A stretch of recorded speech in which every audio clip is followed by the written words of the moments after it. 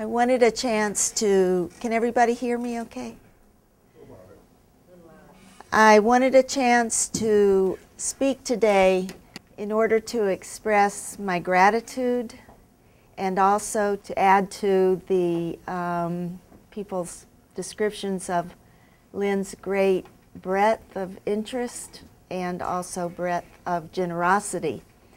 Um, even though my research subject is Homo sapiens, I received the same marked up manuscript copies um, and ideas and um, force of nature, as James Shapiro was, was saying, just being around Lynn was a great inspiration to me. Um, if there's any chalk, I wanted to, it was um, my first mentor was Murray Bowen,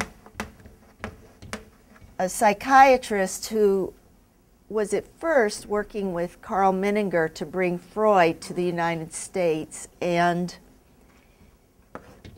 he realized that Freudian theory was not scientific. So he set about at first to try to move Freudian theory towards science, but then came up with his own theory.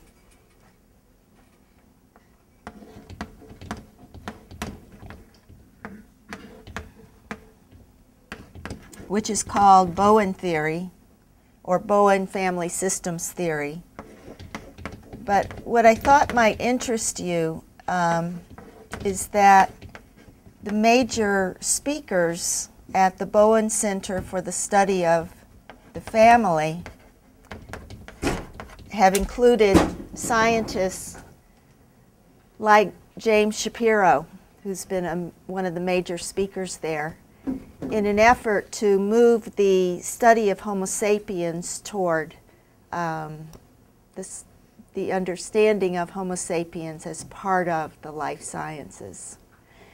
So Murray Bowen oriented me toward the idea that the difficulties that the human experiences in our own families and social groups had something to do with what went on in other forms of life.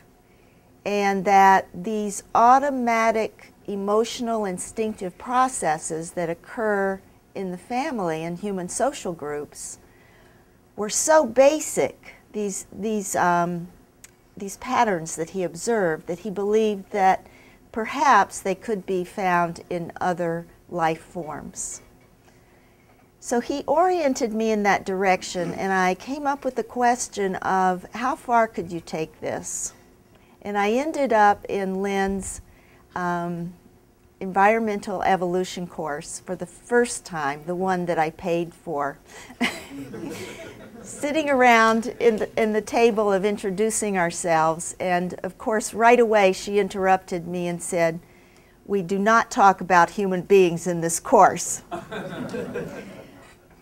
um, over 15 years later, I'm here to tell you um, how much uh, I learned from her, and I was able to take what I learned from Bowen theory plus what I learned from Lynn Margulis and really extend the theory. And I just want to tell you very briefly where I'm going with it, which is that uh, what Bowen, Bowen discovered that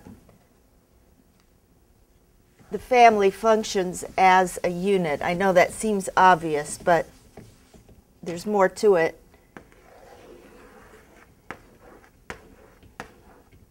But what I what I was able to learn by studying life at these very basic levels, um, especially bacteria, is that the social group functions as a unit toward survival and reproductive success.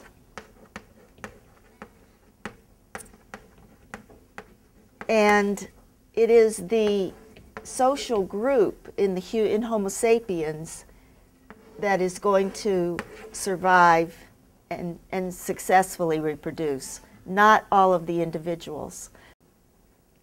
Since Lynn died, I've been very depressed. For me, very depressed. And I'm just so grateful to be here and have been. One thing I realized hearing everybody's stories, I am one of many. and that is a great joy in that. And um, I leave here today when I leave, I'm not leaving yet, very inspired. And thank you.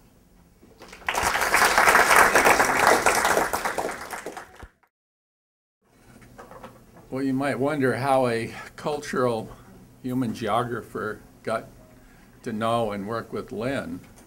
Um, I've taught courses on the importance of place in people's lives, uh, even a seminar called Spirit of Place, that Lynn was always intrigued with that idea.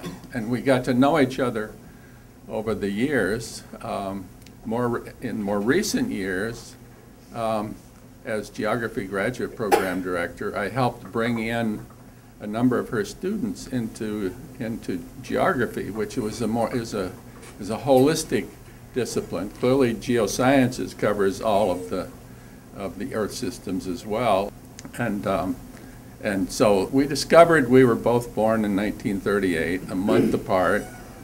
I was born in Idaho. Her mother was born in Montana, so she had that connection.